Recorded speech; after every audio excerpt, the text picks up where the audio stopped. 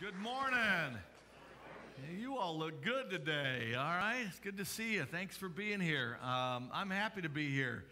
I think I'm crazy to be here today. You know, you, you, you turn, you, get, you hit your 60s and you think you're still 30 something, all right? Uh, you know, four months ago when um Ashley's wedding was scheduled for 7.30 on a Saturday night, I said, no problem, you know, 7.30, Sunday morning, I'll be just fine. Yeah, I wish I was home in bed. That's because that's where Shelly is, all right? she said, You're the pastor, I'm not. You better go.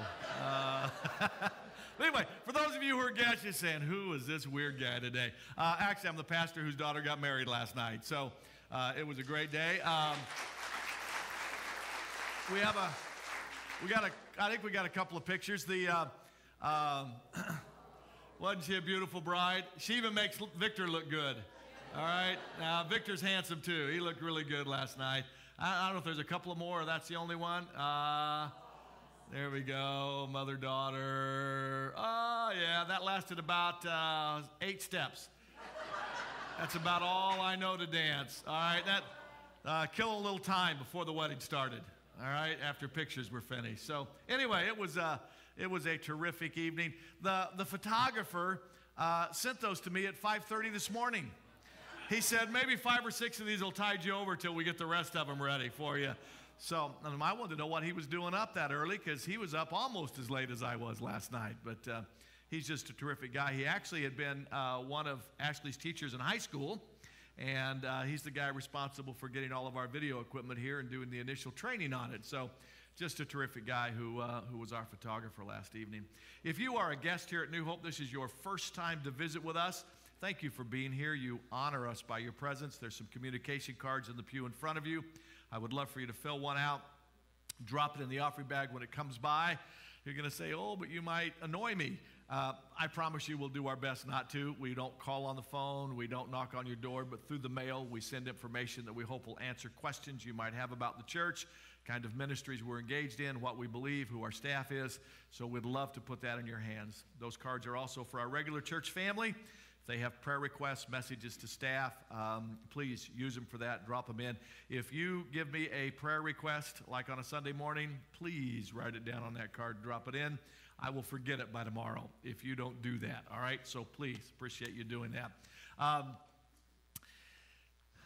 I want to, uh, you can tell I'm scattered this morning, but I, I, want to share a praise item and then a prayer request. Um, um, I'm not sure how to say we're related, but um, okay. Uh, Ashley's dad's sister.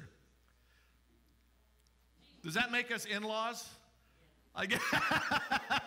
All right. Anyway, uh, had the opportunity to meet him just on a couple of occasions, and we're here for the wedding last night. Uh, if you notice the U Haul truck out in the parking lot, they are the ones driving that U Haul truck, and they are not moving anywhere. They were on their way down from Northern California to the wedding yesterday, and a motorcycle going the opposite direction on the freeway crossed the divide plowed into their car and rendered it non drivable. The great news is this is the praise item. Neither one of them were injured. And so we say thank the Lord for that.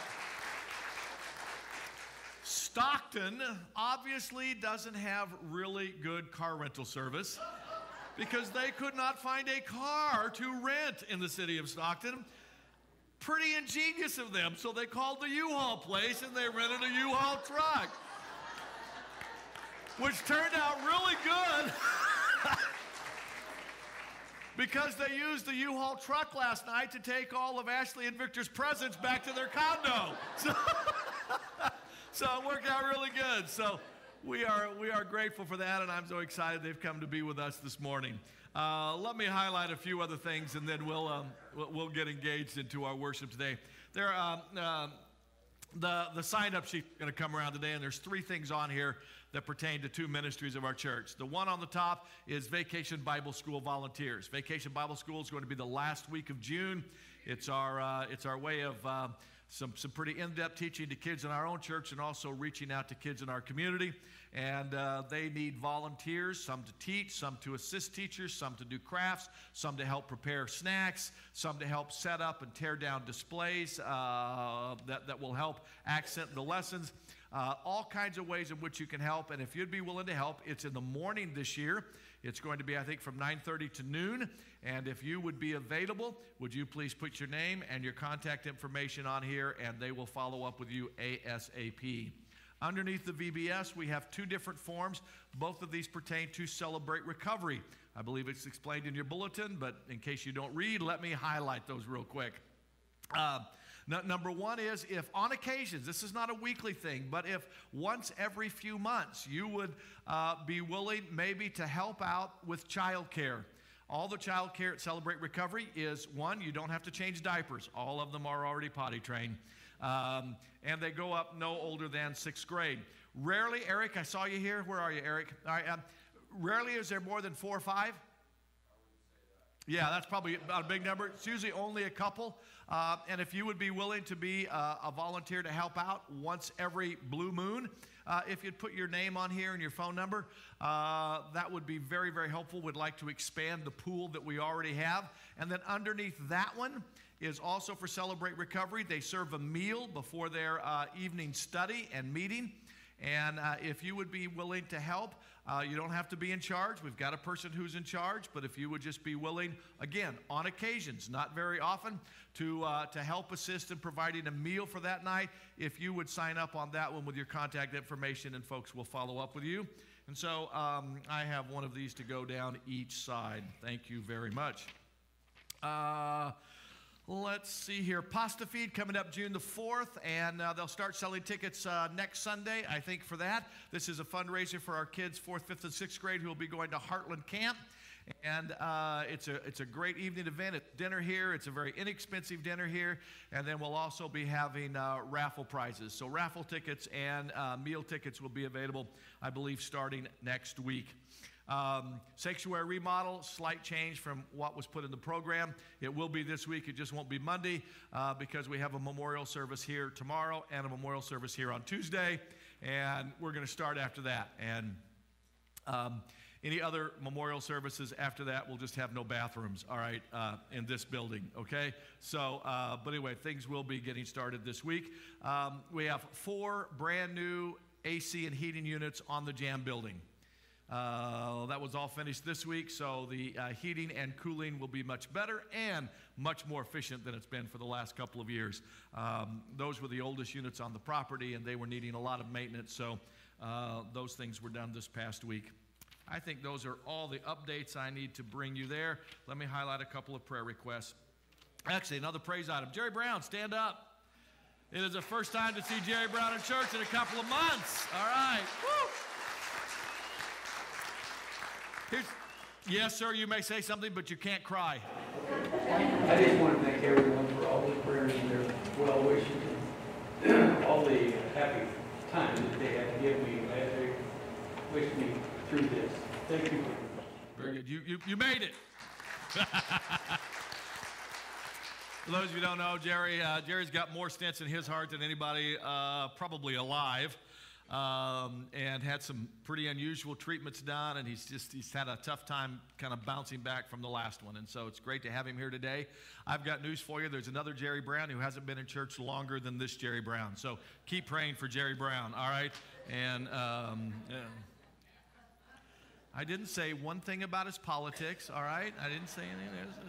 Uh, I do want you to be praying, continue to pray for the Bropes family who are part of our church fellowship. Jim was in the 8 o'clock service. We had his memorial service for his 52 year old son here this past week. It was absolutely terrific.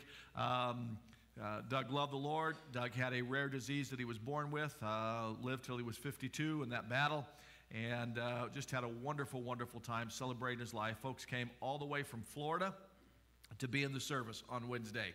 Uh, he was in the sound engineering business and worked 11 years at Hume Lake, handling all of their sound needs up there, and then worked for a large company down in Southern California. But do remember Jim and uh, Doug's sister Linda, who are part of our church. Tomorrow will be a service here for Wayne Morgan.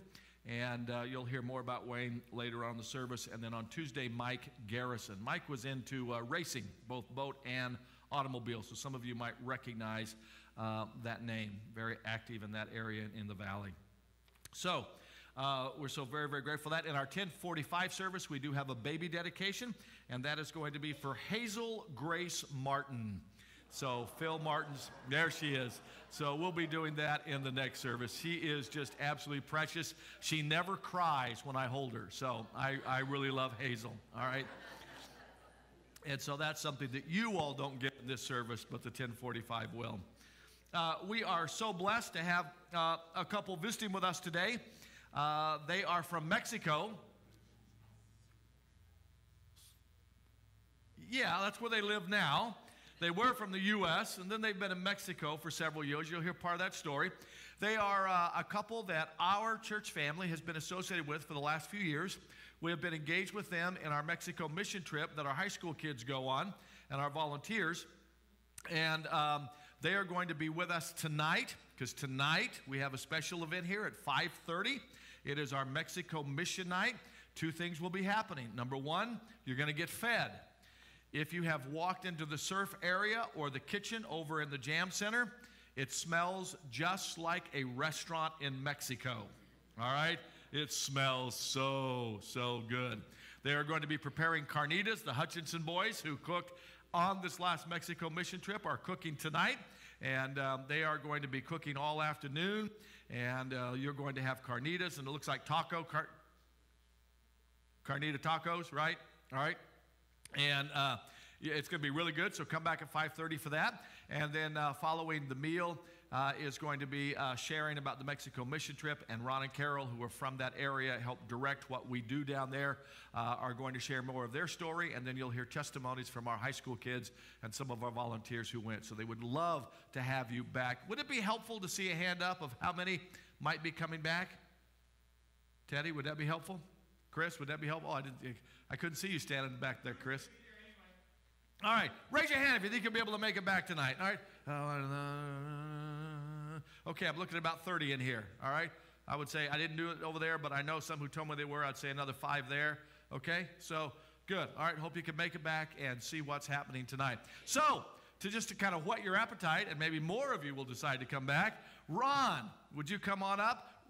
Ron is married to Christy. Teddy, you are surrounded by Christies. All right?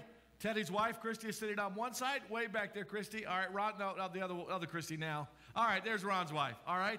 Ron, thanks for being here today. So, I uh, got to share in first service earlier this morning, and I was telling them I walked through the kitchen, and, and Hutch Bros can definitely cook. I ate a little bit of their food so, uh, when they were in Mexico, so I encourage you to come back tonight. It was great. So, I'm going to give you a little bit about, about myself, my family, and, uh, and what we are doing down in Mexico.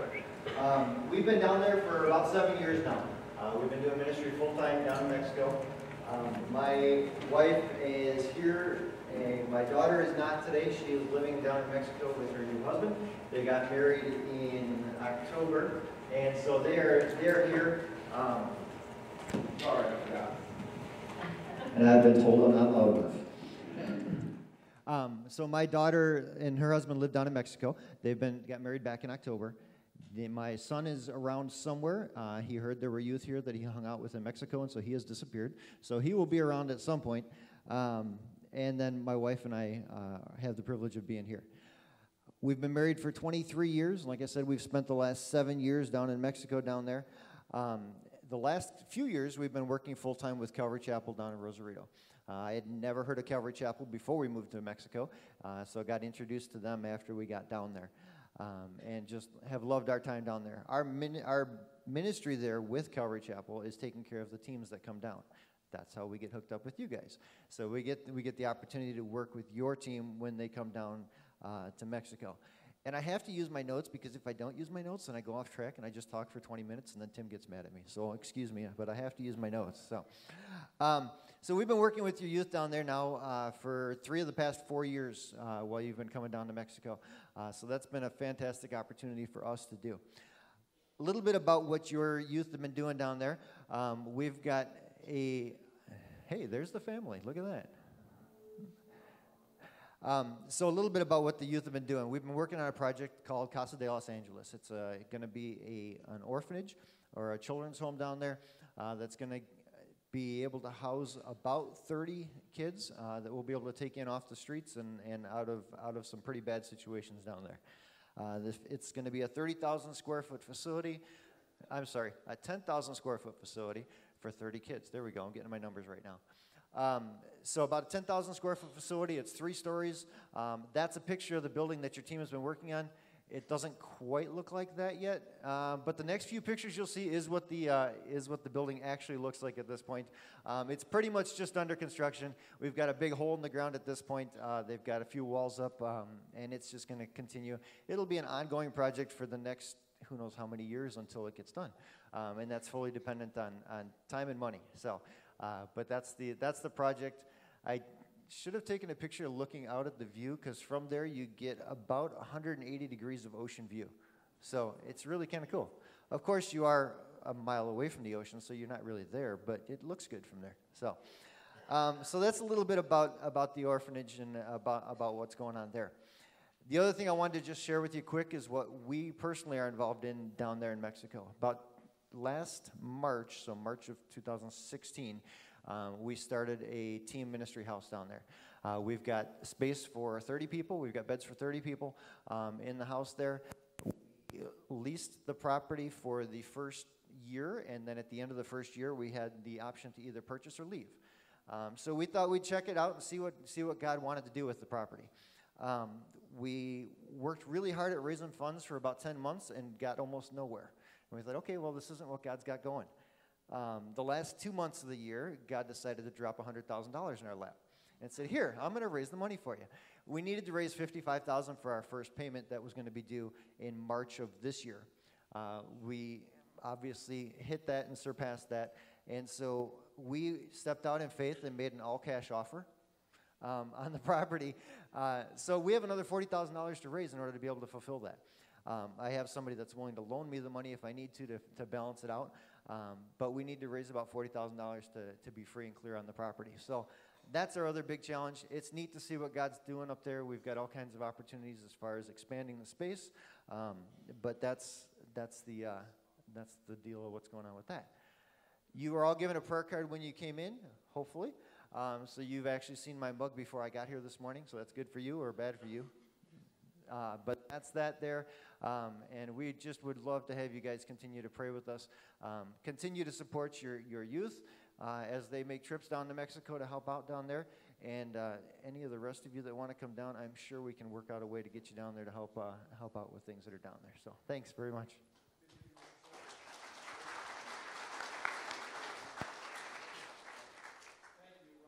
They'll be sharing more of his personal testimony tonight um, at our Mexico mission night.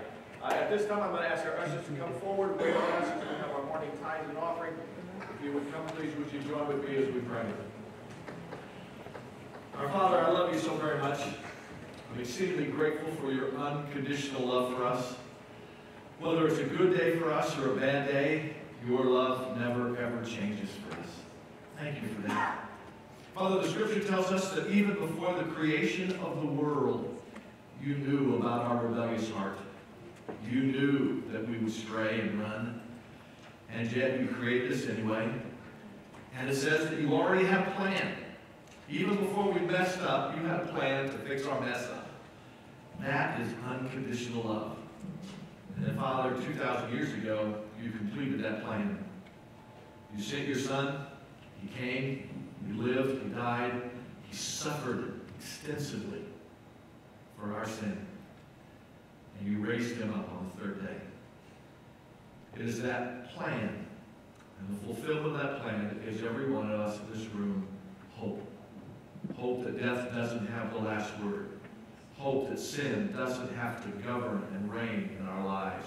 Hope that we're not controlled by the circumstances of this world, but we, Father, can surrender our lives to the control of a God-driven purpose.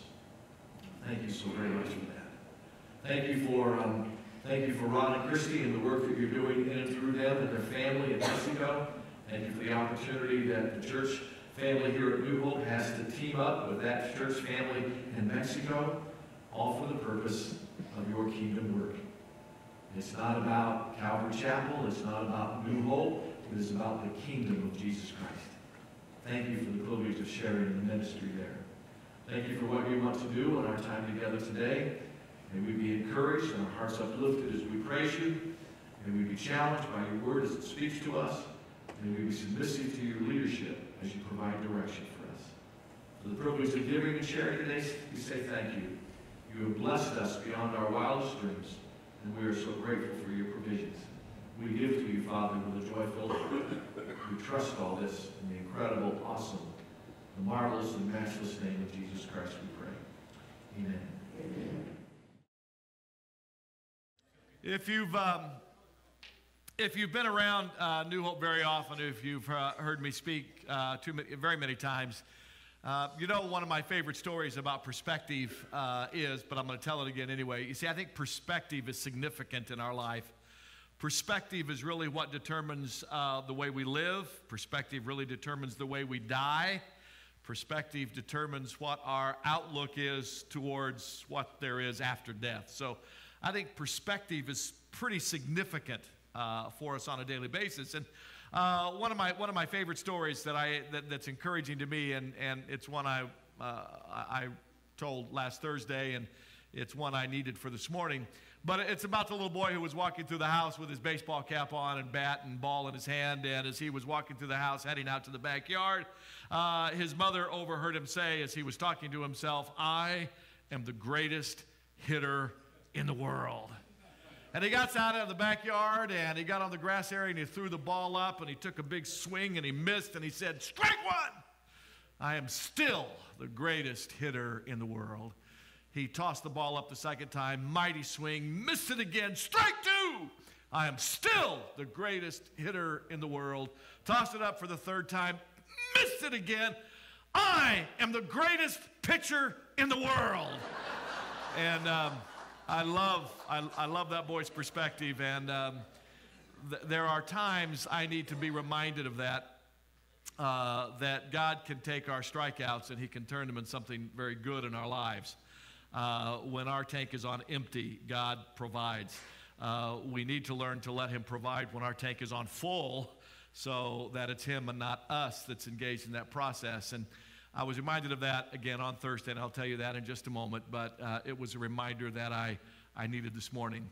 Uh, for those of you who are regulars at New Hope, um, I'm doing what I rarely do today. I'm breaking the series. Um, I know many of you came today anticipating hearing what the antidote, what the cure for jealousy is. Come back next week and we will get to the cure for jealousy.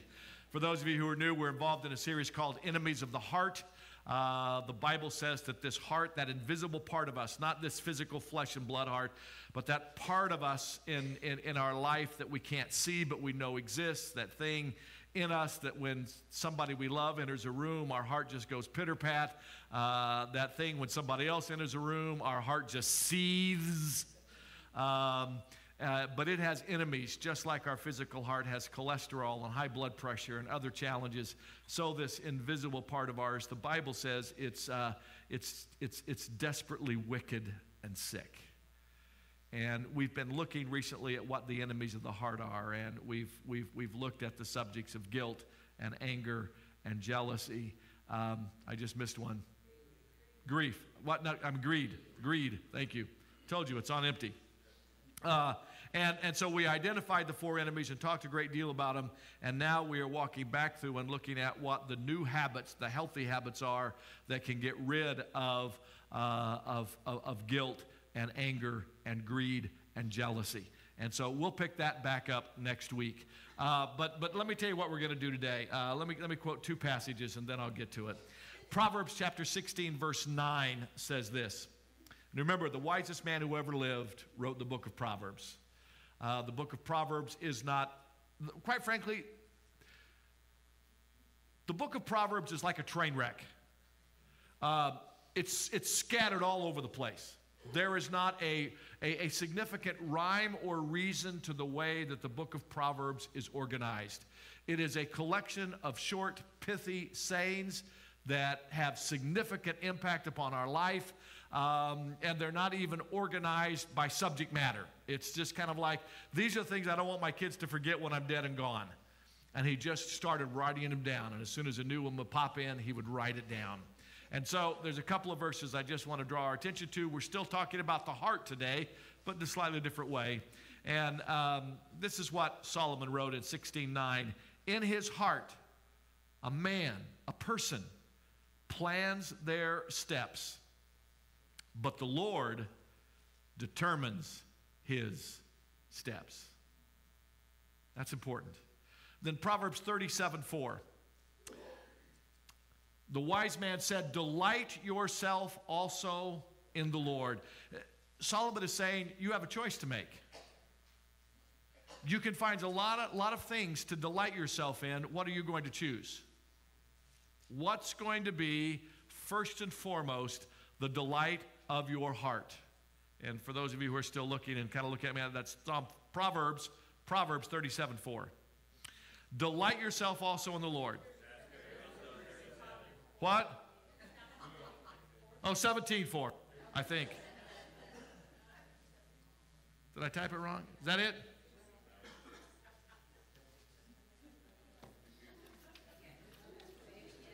Psalm 37 4.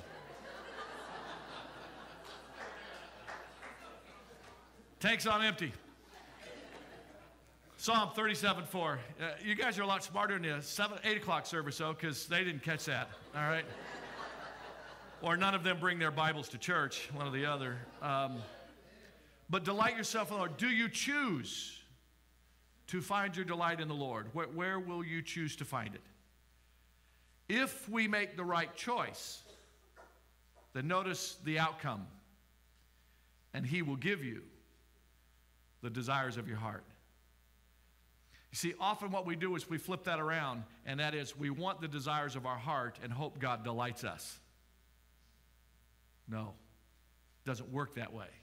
Choose to delight yourself in the Lord, and then He will give you the desires of your heart. Because here's the kicker when we delight in Him, we're probably going to see a change in the desires of our heart. and that's a good thing. Now, that being said, let me tell you why I'm, I'm, I'm preaching this today. Uh, Mike, this is a rerun for you. Here's why. Um, since Ashley set her wedding date, I told him in the office Thursday and Friday before the wedding, no appointments. Keep my schedule clear. I, I knew that for two reasons. Um, number one, there would be a lot of last minute honeydew chores. Number two, I knew I needed some private time to get ready for the service. Um, Ashley, as Corey had been, Ashley was a coordinator, wedding coordinator with me for about five years. She's heard every wedding sermon numerous times. you could look back at Corey during some of the weddings and she could mouth everything I was going to say almost next, okay? Uh, and, and Ashley was pretty much at the same place. And so it, it, it had to be something new, it had to be something fresh. It, also, it's, it's a daughter. And so I knew, though I had things I'd been collecting and preparing, I knew I needed some of that time on Thursday and Friday. The only thing I had on my schedule for Thursday was uh, 6 a.m. men's Bible study. Finished that. All the guys were gone by 7. I had sat down at my desk. I just started getting my thoughts organized. And, and I knew I needed to have some other work done because I had, there's a funeral here tomorrow and there's a funeral here Tuesday. So, Tim, all right, this is good. I got the whole day. 725, my phone rings and I'm in shorts and a t-shirt and a ball cap. All right, I mean, I just I, I, I, I don't dress up for the men on Thursday morning. All right, hey, and, most of them don't dress up for me either. All right, trust me, it's it's it's not a good-looking group on Thursday morning. Well, sorry, guys. Um, but anyway, uh, I, I look down. It's Mike Dermanuel. Mike never calls me that time of the morning. I'm thinking, oh, this is not good. So I answered, Mike, he said, Tim, I'm going to see you at 8.30, aren't I? Uh, sure, Mike. Where am I going to see you? Well, this is the seniors golf tournament at Fort Washington Country Club, and you're supposed to be giving the devotional this morning. Oh, yeah, Mike. Yeah, yeah, Mike, I'm going to be there. Uh, well, they've been trying to leave you messages, but they've been undelivered. Well, here's the deal on that. They had called me back or emailed me back in January, Tim, could you do this event? That was before the wedding. And, and I've done it the previous three years for them, and they, they've been good partners for us with the Hubbard Barrow Golf Tournament in November. And so, as an appreciation for me, one, it was nice of them to ask, but I primarily say yes because they say yes to the golf tournament. And, and, and so uh, I said, okay, here's the deal. A few weeks in advance, please send me an update just so I don't forget, all right? And uh, so he showed me his phone when I got to the golf course and said, Look, all these came back undelivered. Did you change it? No. Do you see that little exclamation mark next to the text? All right, when it says undelivered? If you were to push on that, it would give you an opportunity to resend it and maybe a different way so it go, Oh, I didn't know that. Now, I'm wanting to think, okay, if you did three of these and it didn't get through, why don't you try calling that number? Okay? But anyway, it's, it's not his fault. I, I didn't tell Angel to get it on my schedule. I didn't get the reminders. So anyway, it is now 7:25. I am to be there at 8:30. I am in shorts and t-shirts and tennis shoes. This is a country club. Okay, I need to go home, shower, shave, and put on respectable clothing. I run home. I do that. I have 25 minutes to get to the other side of town to the country club and to speak five minutes after I get there. I have nothing prepared. I'm thinking weddings and funerals, not golf tournament.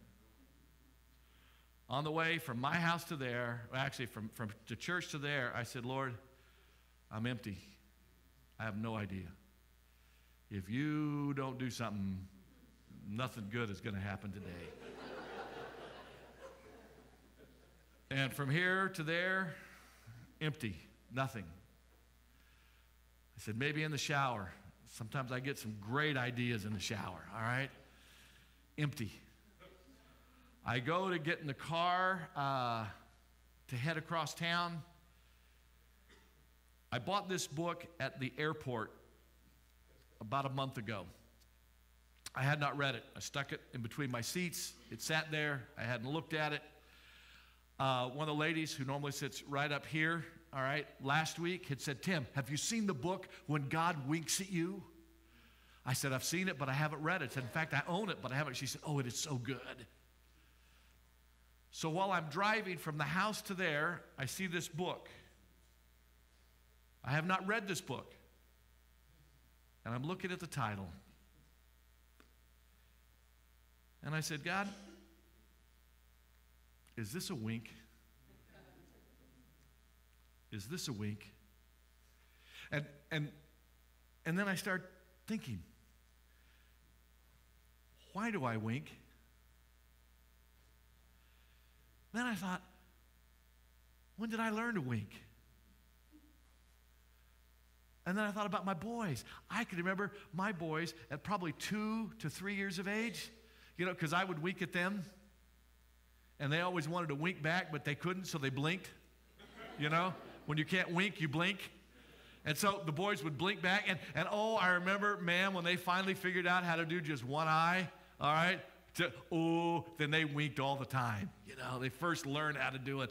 And, and, and that, all of that, you're saying, Tim, this doesn't sound like a very good devotional. And, and, but, but then I start thinking, God, why do we wink? Well, I didn't have time to find out why Squire Rushnell says in his book we blink, because I couldn't read and drive at the same time. At least I'm not supposed to. And, and, and so I'm, I'm, my mind just keeps going. And, and, and, and, here, and, and here's what I came up with of why normally we wink. It starts out with we want to get somebody's attention. Now, there may be different purposes for why we want their attention, but, but we want their attention. Sometimes it's just to let them know, maybe in a difficult moment, that we're thinking of them when Chad would head up to, to bat and he would look my direction before he got there, I'd just wink at him. It was just the fact I'm thinking about you, son. It's going to be okay. Uh, besides winking to get somebody's attention, we wink to get their attention to see if they are interested or encouraged by our wink. Remember, guys? I mean, you'd wink at a young lady every now and then, you know? Yeah, yeah. You, you kind of see, you know, did they raise their eyebrows in disgust or did they smile? Did they take a second look? I mean, you know, yeah. Did, did, did, did, did, did, was there any interest or was there encouragement as a result of the wink? And, and, and, and those first two steps lead us to the third one.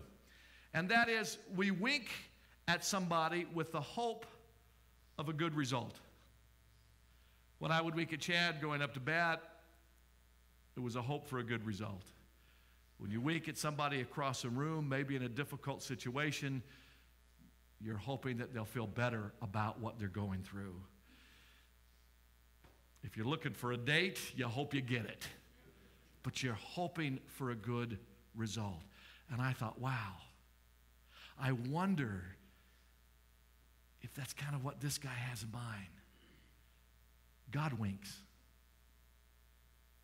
And then I began to think have I ever really paid attention when God winks at me? You see, I think it's the little circumstances that come up in our lives that have no explanation that's a God wink. I, I think it's the coincidences that are so crazy coincidental, it's insane. You couldn't have planned that. I think it's the crossing of paths with somebody at just the right moment that even if you'd had it on your schedule for months, it couldn't have worked out this well. I think those are God winks. And why does He do it? because He wants our attention. Sometimes it's just to encourage us, but it's always with the intent of God saying to you and me, I'm thinking about you. You're the apple of my eye. You are the rainbow on a rainy day in my world.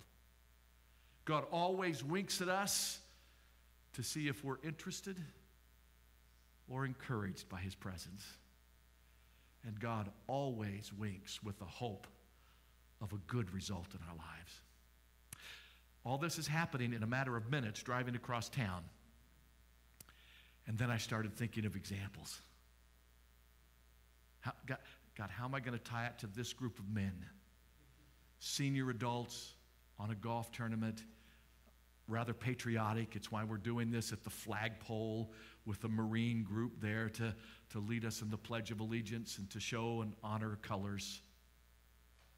So here's just a few of God winks that I thought of in that short trip across town. I thought about some of the stories I've heard from my dad over the years. Though my grandparents were Christians, as often you do when you hit your teen years, and particularly World War II, sometimes you sort of throw your faith aside for a bit. And I've heard dad tell the story in different ways, and I may not get it completely right, but I remember hearing dad talk about having to come to Jesus meeting in a foxhole before a battle. That was God winking at him in the midst of some pretty desperate situations that, hey, you just never know. You need to get things right. That was at 19 years old. And in a matter of days, he would get blown up in a street in the battle at Remagen. Shrapnel embedded in his spine, paralyzed from his waist down. The medics who picked him up didn't think he would live to get him back to the medical facility across the bridge. And they put him and another guy on the hood of a Jeep. That was the medical transport. And they transported him back across the bridge at Remagen. And the guy driving the Jeep, Dad could overhear him say, One of you boys, God must be looking after. Because we're only 50 yards the other side of the bridge, and the Germans just blew the bridge all to hell. It's gone. 10 seconds earlier, they would have been on the bridge. I don't know about you folks, that's God winking big time, man. He might even be blinking. And here Dad is 91, just reverse the numbers. And he's still walking and living and sharing his love for Jesus. If you take dad to the ER, just be ready for him to ask the nurse and the doctors who come to check on him, Do you know Jesus is your Lord and Savior? Dad's in ER administering CPR to those who are well. I, um, I was reminded of in that short journey across town, I was reminded of, of early in my boys' years at Clovis Unified, and the principal, Ann Lindsay at Dry Creek, asked if I would serve. You've got to remember, this is 25, six years ago. And Clovis Unified was just getting a district wide committee together uh, for cross cultural communication. How do we improve our cross cultural relationships? So they had had a small team of just six people, and now they had done some work and they wanted to share that with representatives from all the schools before they unleashed some printed material and publications district wide of, of, of how we should think, view, and handle cross cultural situations. And so there was a Hispanic gentleman from Dry Creek, and there was an Asian gentleman from Dry Creek, and, and, and, and then I was chosen. And I, I, I said, Why'd you pick me? And she said, Because it's checked on here, you're an American Indian. They, they, are. My grandfather was uh, not quite half Choctaw Indian, registered on the rolls. I got my card, all right? So uh, now we call them Native Americans. My grandfather always just said, He's an Indian. Uh, he was Choctaw, all right, one of the five civilized tribes of Oklahoma Choctaw, Chickasaw, Cherokee, Creek, and Seminole. Um, we learned that before we learned the alphabet at our house. Um, and, and, and, so, anyway, I was asked to, to go. And so we went to this meeting where this core team was going to show us their materials and get our input. Well, I went with a gentleman from Dry Creek who was Hispanic, and we were sitting at the same table side by side. And uh, I'm looking at my watch. They're late starting, and Clovis didn't usually work that way. They were usually right on time, but they were late. And finally, a, a lady stood up and said, We're waiting for uh, the, the chairman of our committee. He got hung up in traffic. He'll be here any minute. And so a few minutes pass, door opens, we turn and look. Here comes this guy. He's six foot four, six foot five. He is broad shouldered. He is dark complected. And the guy I'm sitting there with, uh, he looks at me and he says, Tim, that is the biggest Mexican I've ever seen in my life. and I looked at him and I said, He is not Mexican. What do you mean he's not? Look at, look at his skin. I said, Look at his face. I said, That is not the face of a Mexican. That is the face of an American Indian. He's probably Cherokee. Guy gets up, he introduces himself, tells us his name, and he said, I'm a full blooded Choctaw Indian from Oklahoma. Choctaw. wow. Obviously, your bloodline was not in my bloodline because I'm five foot seven and a half, all right? But anyway, I couldn't wait for him to finish so that afterwards I could go up and introduce myself. I had my card already, you know, to show him I was, you know, part Choctaw Indian. And, and, um, and, and, and, and, and so uh, we, we, talked a little bit about that. And, and, and I, he said, where, where does your bloodline come from? And I said, Well, you know, I said, My grandfather. And I said, You know, this is back in the 30s and the 40s. I said, um, My grandfather was quite proud that he was, he was Indian. I said, You know, a lot of his relatives, they, they didn't want anybody to know because they, they could get put down for it. But I said, my grandpa, I said, he was so proud of it that, that when he started preaching, he would advertise. Remember, this is the 40s now. When my grandpa's preaching, he would have uh, billboards, posters made to put around towns. He did it in Firebaugh and Kerman and Fresno and Madera and Selma. And he would hold tent revival meetings, all right? And, and, and on the brochure, it would say, Come here, Choctaw Indian evangelist. And even in some of them, he would be in his suit and he would have a headdress on. I, I, still have, we, we have that. In fact, that headdress hangs on a wall in, our, in, in one of our rooms in our house. And he said, Wow, Indian evangelist. He said, You know, when I lived on the reservation back in Oklahoma as a boy growing up, he said there was this evangelist who used to come every year and he would preach three or four nights in a row. And he said, One night I gave my life to Jesus Christ. That evangelist's name was George McLean. My name, for those of you who don't know, is Tim McLean Rolen. That was my grandfather. Do you think that's a God wink? I think big time that's a God wink. You see, I knew God had called me to preach when I was 10 and a half years old. I had turned 10 in December. My grandfather died the end of January with a massive heart attack. I was 10, he was, uh, he was 70. And that summer, with my grandmother, my mom, and dad, we drove to Oklahoma as we had done every summer of my life. And we were in um, uh, the home and a grocery store. They were connected in a neighborhood of a f- couple called the Smithies. And my grandmother, mom, and dad were in the store part. And I was left, I don't know why they left me in their living room, but I was there all alone, sitting in a rocking chair. I'm 10 and a half years old, and I start crying. And the reason I was crying was twofold. One, I miss my grandfather. But number two, here's what I knew, and this is going to sound so bizarre. I knew at that moment that God had called me to preach, and who's going to believe a 10 year old? And so I didn't tell anybody. Fast forward five years. I'm 15 years old. One of my best friends is, um, is, is a preacher's daughter. Her dad was president of the Bible college at the time. Her name was Debbie. And Debbie and I were very good friends, and she had gone home with our family after church for lunch, hang out till we went back for church in the evening. And um, while, we were, while we were hanging out together, she looks over at me and she says, What's the matter, Tim? I'm 15 years old. I said, Nothing's the matter, Debbie. I'm just fine. No, no, something's bothering you. Said, Dad, I'm, I'm good. God's called you to preach, hadn't He? What are you talking about? I'm 15 years old. Yeah, you've been fighting this for a while, haven't you? I argued and fussed, and she said, Tell you what, I'll make you a deal. We had a guest preacher that night going to be at Dad's church. His name was Bob Shockey, big old boy from West Virginia. And um, she said, If Bob preaches something that just really confirms your, God's called you to preach, then tonight you'll go forward and acknowledge it. I said, Not a problem. Bob was half comedian. But Bob took 20 minutes before he ever got to the sermon telling stories and jokes. And I said, Not a problem. We got to church that night. We're sitting about seven, eight rows back on the right side, sitting next to each other. Dad introduces Bob Shockey. Bob Shockey gets up. He doesn't tell one joke. He doesn't tell one story. He turns to 1 Corinthians chapter 1, and the first words out of his mouth is, By the foolishness of preaching, God will save some. Do you think God winked? I think God winked. This merger of New Hope Church was a God wink. It wasn't an idea in anybody's mind. If you're new here, go online, read the whole story. But again, it was at a Dry, Dry Creek School event.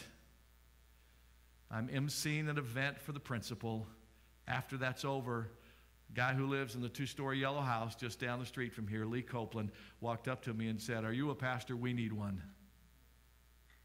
I said, Well, I'm, I'm sorry, but I'm already pastor at church. I'm in Fresno. And on the way home that night, God said, Why don't you bring two churches together? Churches usually split. Why don't you do something different? Why don't you bring two together? And so God took two small congregations, one in Fresno and one here in Clovis, and He brought them together. That was a God wink. Um, there's a new family, and I won't take much time telling that story, but there's a new family in our church, the Lucero family. Um, a few months ago, I told you about a lady hugging me over here at the end of a memorial service with tears streaming down her face, and she said, You preached Pete Holder's funeral, didn't you? And that was 15 years ago, 16 years ago. I said, Yes, I did. She said, My son and I stood up at the end of that service and gave our life to Jesus Christ. I just want to thank you very much. I'd never seen this lady in my life. 15, 16 years have passed. I go to my office to get something. I come back. This lady's been at the end of the line getting her food, and she's getting her drink from Shelly, and all of a sudden she sets her cup down and she hugs Shelly. I walk up at that moment and I said, You know, you're hugging my wife. She said, You know, I'm hugging my cousin. That's a God wink, guys. Who could plan something like that? They hadn't seen each other in over 20 years. They were in the 8 o'clock service this morning, and normally between 9.15 or 10.45, six or eight of them are sitting right up here on the front row. They've been coming ever since then. Mike DeManuel Sr., who's sitting in this service today, God winked at him in an ER room at Fresno Community Hospital on the night that his stepson Austin was involved in a car accident at the corner of Shaw and DeWolf. They were on their way as freshmen in college to coach a a basketball team at uh, the junior high at Clovis East. It's brand new. They got T boned by a car going through a country intersection. Two young men in that car. Um, I had known, I had known one of their parents, of both of those young men, back in high school. They were in the ER, unsure if either one of them would live. And I got a call from a neighbor saying, Tim, you need to get down there those families are going to need somebody. I walk in, I'd never met Mike DeManuel Sr. before. Had I known he was a Winchell kid, I would have liked him, but I didn't know that, and so I didn't know him. And that night, God winked at the DeManuel family, and over the course of the next couple of weeks and months, Mike gave his life to Jesus Christ. He's been part of our family ever since then. It was a God wink in a hospital room. Last story. It's really what ties this whole thing together. Tomorrow's memorial service for a guy by the name of Wayne Morgan. Wayne Morgan's and the Stokel family have relationships. Two years ago, Wayne Morgan uh, was diagnosed with cancer and it was pretty serious. And uh, I was asked by the Stokel family if I would call him. And so I called and left three messages for this couple. I never got a response back. Couple of weeks ago, before I left for Cabo, I get a call on a Monday morning, and it is uh, it's Wayne's wife. She says, Tim, I, first off, I want to say thank you for calling us two years ago. Um, we really thought we were going to need you then, but um, Wayne responded so well to treatment, he got so much better. And I thought, how often do we do that? We only look for God when we're in trouble, when things smooth out. We not, not realizing, folks, it's going to be smooth only for a little while. It's going to get it's going to get rough again down the road. And she said, so, so we didn't, but we, we got bad news last week, and, and, and Wayne has taken a real turn for the worse, and I'm, I'm sorry we didn't call sooner. She said, We've been told we have a couple of weeks, maybe to a couple of months, and so uh, wondering if you'd come by and see him. Today, before I was heading for vacation, long list of things to get done. And, and she said, No rush, just come see us when you get back. And I said, um, Okay. I hung up the phone, and man, I, it, it just didn't seem right. So I picked up the phone, I called back, I said, I don't know what your schedule is, but can I come this morning? Sometime the next hour or two, can I come? I won't stay long, but I just think I ought to meet him before I leave. She said, Oh, that'd be great. Yeah, come right on over. So I did. Stayed three hours. I stayed three hours, visited with her, visited with her daughter from out of town. I visited with Wayne, had the opportunity to pray with Wayne.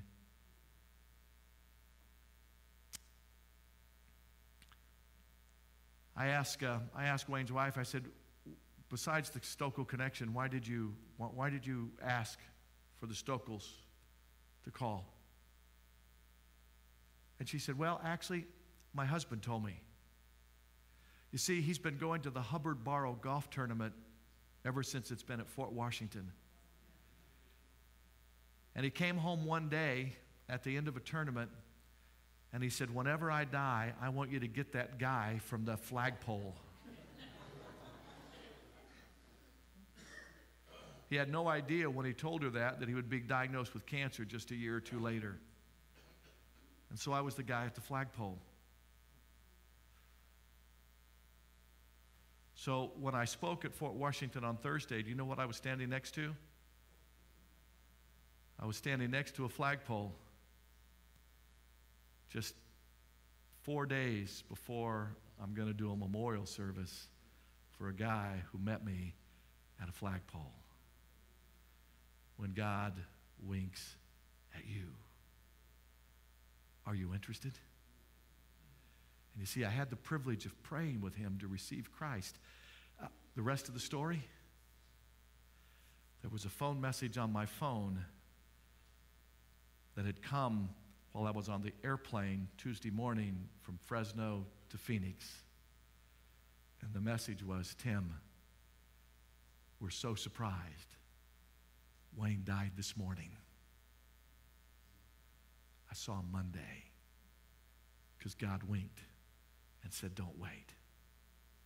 Do you recognize the wink of God in your life? Let me close with this story out of the book because I think you should go buy the book. Because remember, everything I've said to you now, I had never read the book. Here's one story. It's here. In Anaheim, California, Mavis Jackson drove past the Crystal Cathedral. Remember that? Bob Schuller's church? For 20 years, she said the same thing. Someday I'm going there. One Sunday morning, she did. Put on her best outfit. Today's the day. Getting there early, she took a seat. She could not believe this 3,000 seat megachurch. She sat in awe of the majestic voices of the choir. She marveled at the manner of those huge windows that opened up as if they were inviting the birds to come in and worship with them. At the end of the service, Mavis stood and waited for the aisle to clear. Trying not to sound too excited, she said to the young lady who had been sitting next to her, I'm so glad I came today. Wasn't this wonderful? The young woman just nodded. Are you from around here? asked Mavis. Uh, no, I'm from the Midwest, the young woman said. I'm actually here on a mission. I'm here to find my birth mother. There was this pause. I, I, I know how you must feel, said Mavis. A long time ago, I had to give up my little girl for adoption. I didn't want to, but no other choice. A long pause. The young woman looked deeply into Mavis's eyes and said, do, do you by any chance remember your baby daughter's birthday? Oh, yes, I do. I've never forgotten it. October 30th. That's my birthday, the younger woman said. A remarkable coincidence? A God wink, I suggest to you, had reunited a long lost mother and a daughter. What are the odds that a woman living in Orange County and a woman visiting from the Midwest looking for her mother would sit next to each other in the Crystal Cathedral on the very same Sunday? Cheryl, the young woman, explained that for years she had been haunted by the uncertainty of not knowing her birth mother. In her small Midwest town, everybody discouraged her. It'll just lead to heartache. There's no trace of her. You have no idea where to start. But one person eventually suggested, I think I heard that your mother moved to Orange County. Even on the most optimistic day, Cheryl never would have forecast this remarkable outcome. When they confirmed the wonderful miracle that they really were the lost mother and daughter, they knew the next Mother's Day would never, ever be the same. What could we learn from stories like this? That there is a mighty force out there bigger than all of us, directing our lives, determining our steps, bringing certainty out of uncertainty. I don't know why God brought you here today. I don't know why God decided to change the sermon for today. I would suggest to you it's a God wink. Don't miss it. Will you let hope be the end result of God winking at you today? Let's pray. Father, for your love for us we simply say thank you for your for your expressing interest in our lives. There's probably not a bigger wink than, than the cross and the tomb. But God, in the little adventures of life, you are winking at us to see if we are interested in you. Thank you for showing interest in us. I will leave you to the hope filled outcomes of today. In Jesus' name, amen.